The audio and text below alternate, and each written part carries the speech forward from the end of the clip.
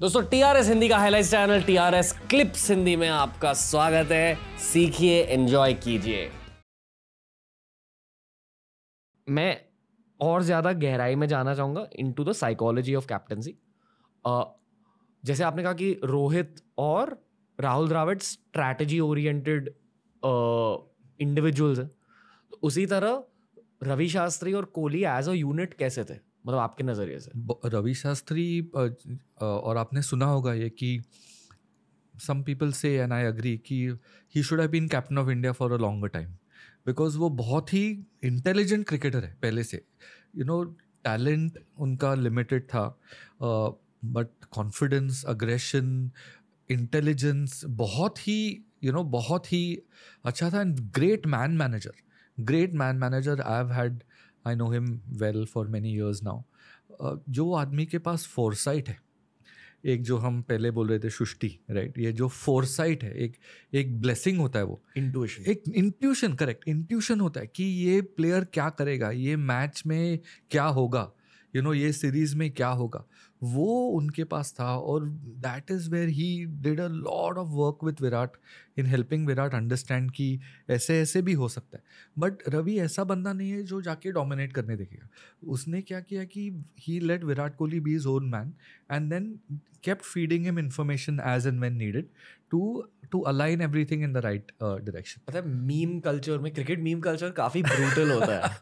मतलब कुछ कुछ मीम्स बहुत फनी भी होते हैं कुछ कुछ मीम्स बहुत ब्रूटल होते हैं। Brutal होते हैं और फिर उसी मीम कल्चर से स्टीरियोटाइप्स या perception build perception correct correct correct तो रवि शास्त्री के को लेकर एक परसेप्शन है कि वो बहुत क्वाइट कोच थे। उन्होंने ज़्यादा कोचिंग नहीं करी but how does meme culture know that असलियत क्या है ये सिर्फ़ रवि शास्त्री को पता होगी टीम को पता होगी। एक्चुअली उस असलियत के बारे में आपसे पूछना चाहूँगा। नहीं वो ऑपोजिट ऑफ़ क्वाइट थे। ऑपोजिट ऑफ़ क्वाइट थे। रवि शास्त्री बहुत ही अग्रेसिव कोच थे। Head head of head coach बहुत बहुत ही अग्रेसिव हेड कोच थे।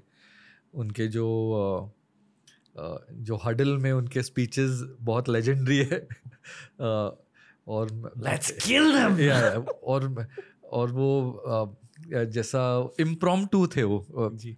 रवि शास्त्री ऐसे ऐसे नहीं है कि वो स्टडी करके जाएँगे कि हडल में मुझे क्या बोलना है जो उनके मन में आएगा वो बोलेंगे और वो बहुत रेलिवेंट होगा। बिकॉज़ वो हडल आप हडल के बाद आप ग्राउंड पे ही जा रहे हो तो बहुत ही ऐसा है कि no it needs to hit the that arrow needs to hit the bullseye जी। एकदम क्विकली तो but but but not quite at all ये जो मीम्स है I know that he also laughs at them himself because बहुत ही chilled बंदा है you know और हम्म। रवि शास्त्री के बारे में आप सोचो तो पहला इंडियन क्रिकेटर जो इतने साल काउंटी क्रिकेट खेला as a allrounder you know Glamorgan के लिए इतने साल वो खेले एंड फ़र्स्ट प्रोफेशनल क्रिकेटर तो वो जो प्रोफेशनलिज्म उस, उनमें है इनग्रेंड है and that is also what he try to tell the players about as well because वो एक इंडियन क्रिकेटर थे वो भी गावस्कर और सबके साथ खेले थे लेकिन काउंटी क्रिकेट खेलने से भी बहुत लर्निंग्स आती है। Because county cricket Ranveer is seven days a week cricket तो every day you are playing a match literally for three और फोर मंथ्स यू नो और at least five days a week cricket so you have learnings so वो learnings are also providing a different angle you know for the players in in that knowledge transfer क्या होते हैं learnings अभी England में तो ball seam होता है।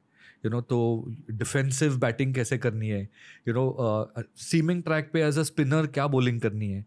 You know when you are tired कि यार, मेरे में कुछ नहीं है, अभी मैं ग्यारह दिन मैच खेल रहा हूँ। वो बारहवें दिन सुबह छः बजे अलार्म बजेगा, कैसे उठना है और जाना है। वो एक प्रोफेशनलिज्म है, वो एक डिसिप्लिन है। यू नो खुद में what do you tell yourself self self talk you know this that and the other so these are the ये लर्निंग्स बहुत इंपॉर्टेंट है। यंगर प्लेयर्स को ये लर्निंग्स बहुत इंपॉर्टेंट है। बिकॉज़ आपको, उनको बैट कैसे होल्ड करनी है, वो बॉल कैसे ग्रिप करना है, वो सब मालूम है। उनको न्यूएंस लर्निंग चाहिए कि कि how can I become better you know I am facing this complex issue and then you feel हाँ मैंने भी ये मेरे करियर में फेस किया था। Should I tell him this and these these guys are elite athletes you know these are highly trained players so you can't go and say कि यार ये है, कि तू ये कर। You have to go and say कि यार मेरे पास शायद एक चीज़ है जो तुझे हेल्प कर सके।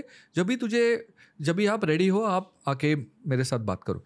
तो Ravi was that kind of a head coach that he gave the players the space because he was a player you know in in in own time he realise that players also need space so it you have to keep balancing it out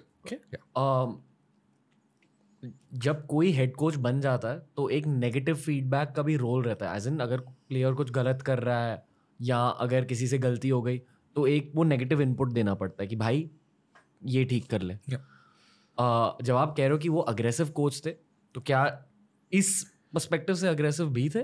नहीं नहीं ऐ- ऐसे uh, Ravi Shastri is very high on empathy also और और क्या होता है रणवीर जैसे मैं पहले बोल रहा था कि आपके एक बैटिंग ग्रुप होता है एक बॉलिंग ग्रुप होता है। तो अगर एक बॉलर का कुछ यू नो एक ऑब्जर्वेशन आपको कन्वे करना है बॉलर को। तो आपके पास एक फ़िल्टर है बॉलिंग कोच है एक फ़िल्टर तो वो बॉलिंग कोच के थ्रू आप कन्वे कर सकोगे। उसके बाद अगर नहीं हुआ तो then intervention is needed but ये जो सेटअप में है it's a very beautiful setup you know so so there a there a lot of there a there's a very good opportunity to play good cop bad cop uh, as well in this. ऐसे ही बहुत सारे videos आपको मिलेंगे। ये वाली playlist में subscribe कीजिए और प्लेलिस्ट देखिए सीखते रहिए ग्रो करते रहिए।